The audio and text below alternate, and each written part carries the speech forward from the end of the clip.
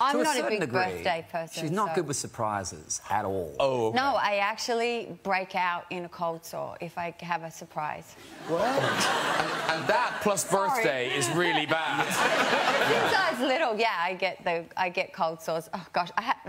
What, like- So, but I did have a surprise party once when I was um, 30, and it was so shocking to me because people had come from overseas and they'd set it all up, and I sort of walked in and I broke out in a cold sore, What, like immediately a cold sore like comes on out? the spot.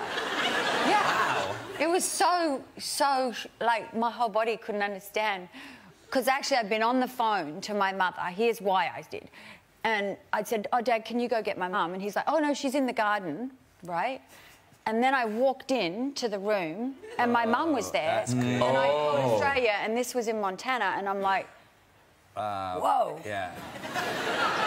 Broke out in a cold, Cold sore, of course. Then